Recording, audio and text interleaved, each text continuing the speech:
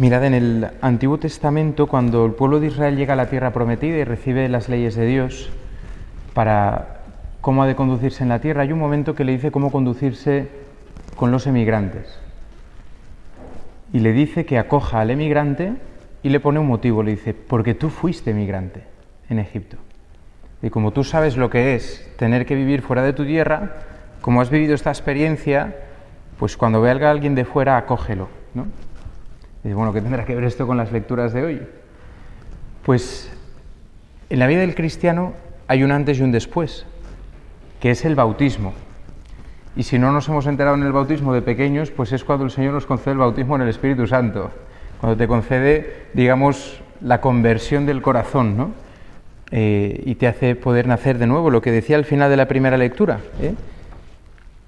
Decía, según su propia misericordia, nos salvó por el baño del nuevo nacimiento y de la renovación del Espíritu Santo que derramó copiosamente sobre nosotros por medio de Jesucristo nuestro Salvador, para que justificados por tu gracia seamos en esperanza herederos de la vida eterna.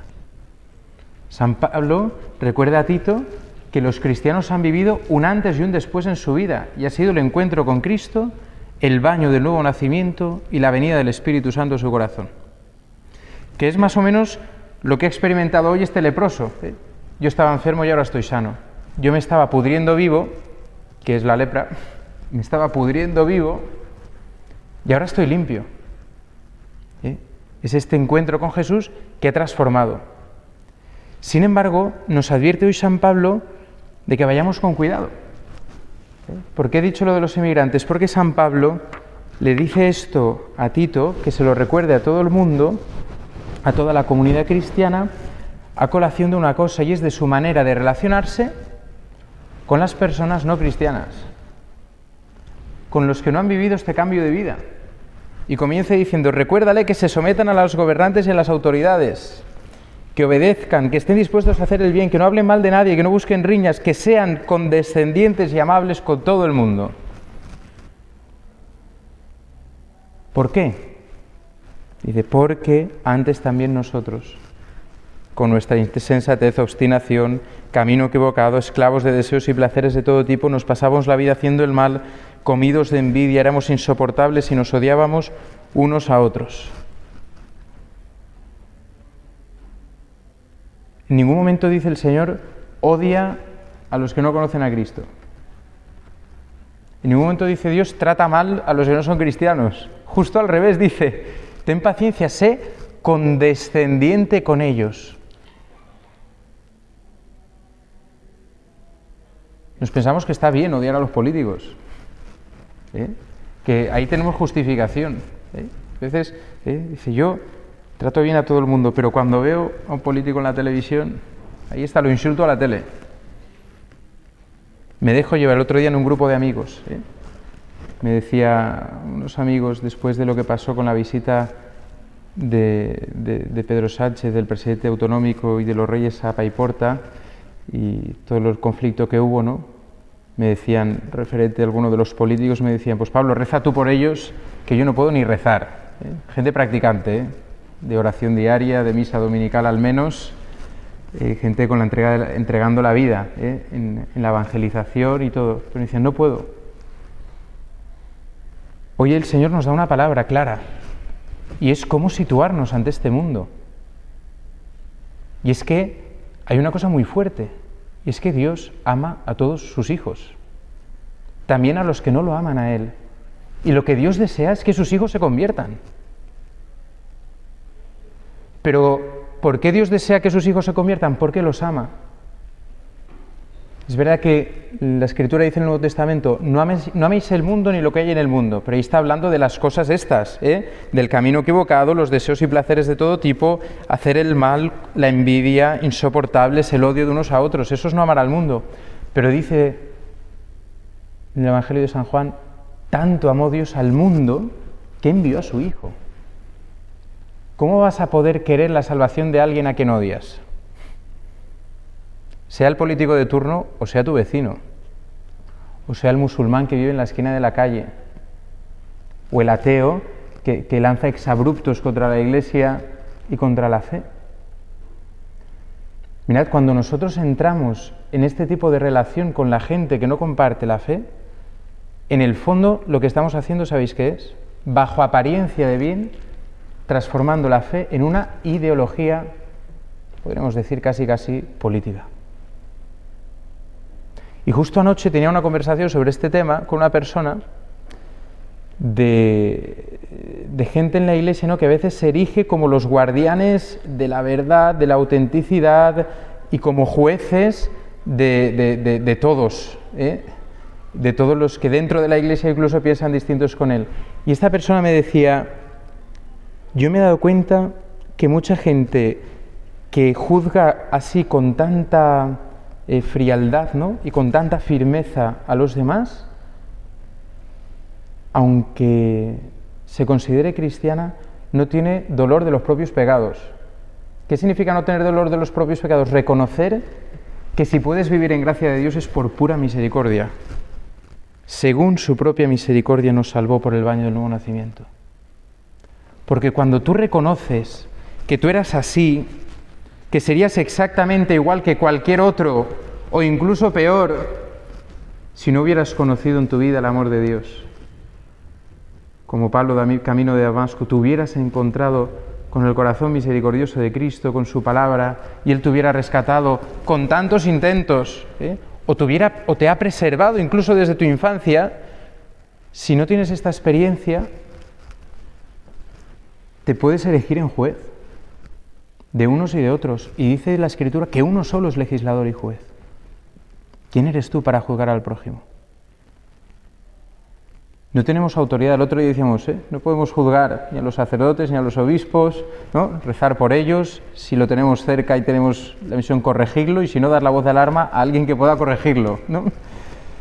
Pues hoy el Señor nos dice que no podemos ni juzgar a los gobernantes. Eso ya no nos gusta tanto. ¿eh? En el fondo, cuando juzgamos, ¿sabéis qué, es lo que hay en nuestro corazón? Una profunda soberbia. Solamente juzga a otro el que se cree mejor que el otro. Y el que se cree que en el fondo lo haría mejor que otro. Y el que se cree que es más santo y más bueno que el otro.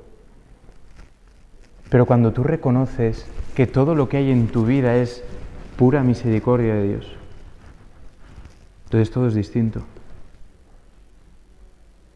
Ayer me decía una persona, es que Pablo, sé que tengo que rezar, pero no puedo rezar, no puedo rezar.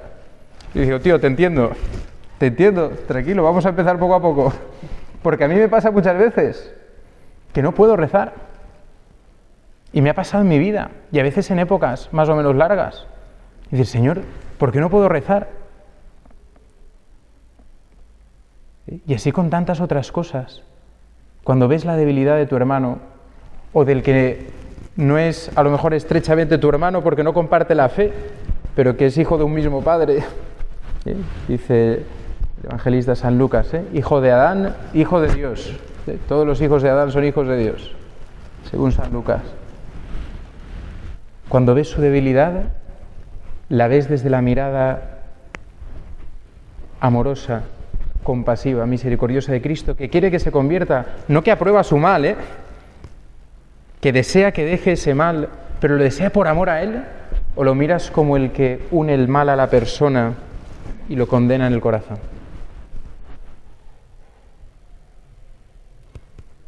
Porque sabes qué pasa seguramente? Que cuando miras con esta condena en el fondo es que no te sientes amado por Dios. Es que no te has sentido perdonado por Dios. Es que has crecido en una relación con Dios que se basa en lo bueno que tú eres y lo que cumples. En que el amor de Dios se gana por lo que tú haces cuando todo lo que tú puedes hacer es una respuesta a este amor de Dios. En esto consiste el amor, no en que hayamos amado a Dios, sino en que Él amó primero. Por tanto, si el Señor te ha salvado, si te ha limpiado por este nuevo nacimiento, si ya lo ha hecho o poco a poco estás experimentando cómo te va liberando de todas estas cosas que decía la primera lectura, ¿cuál es la respuesta adecuada a lo que Dios ha hecho en ti? ¿Señalar a los otros? ¿Jugar a los otros? ¿Creerte mejor que alguien? No. Uno de ellos,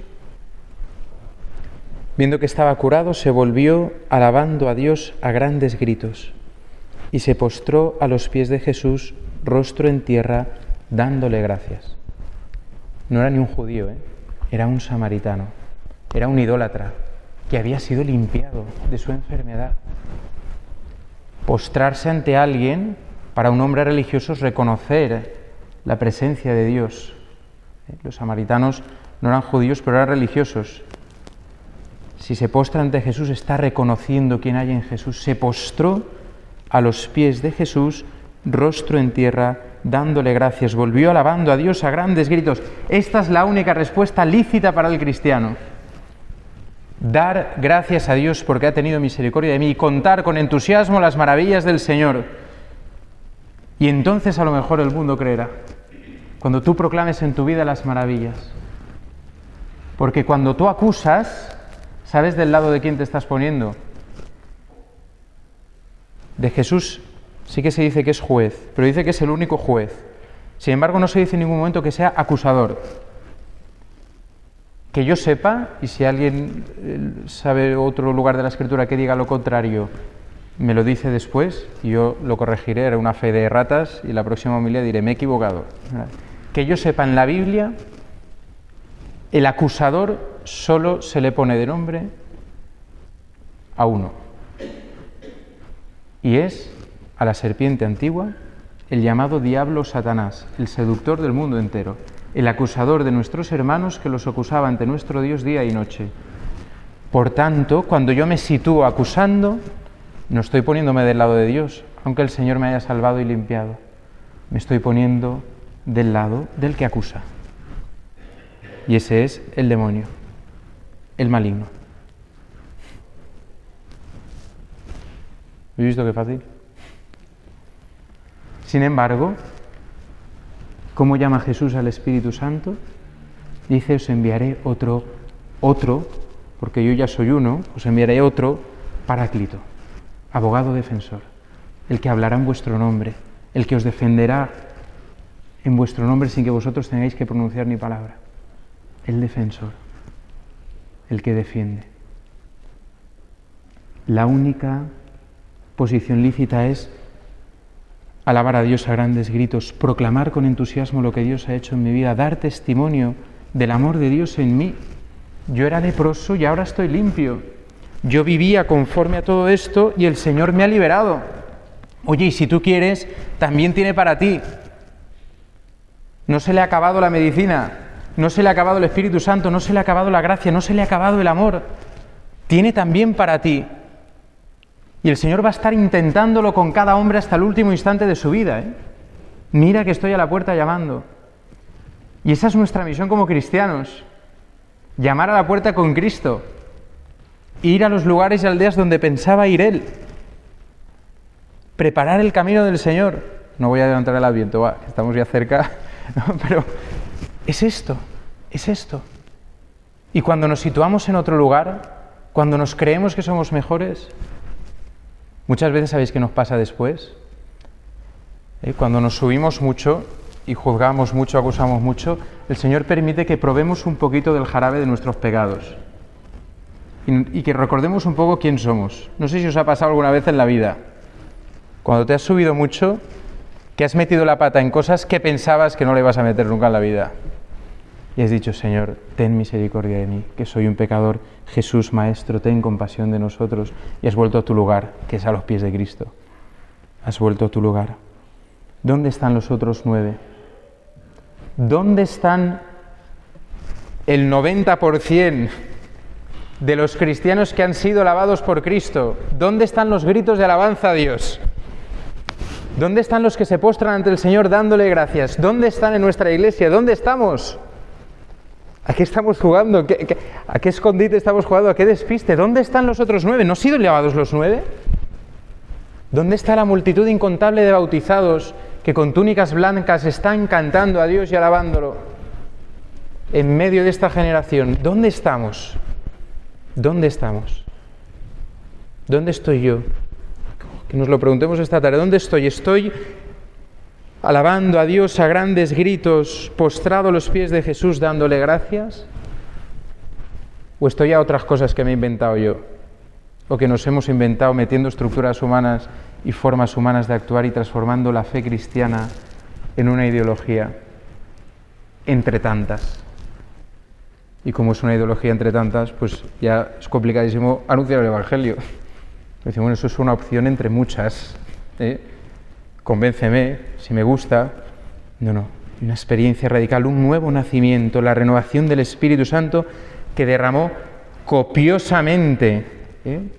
Dios da la gracia sin medida por medio de Jesucristo nuestro Salvador, para que justificados por su gracia seamos en esperanza herederos de la vida eterna. No nos conformemos con menos, no nos enredemos con otras cosas. Eh, es muy sencillo, muy sencillo. Humildad, sencillez y alabanza.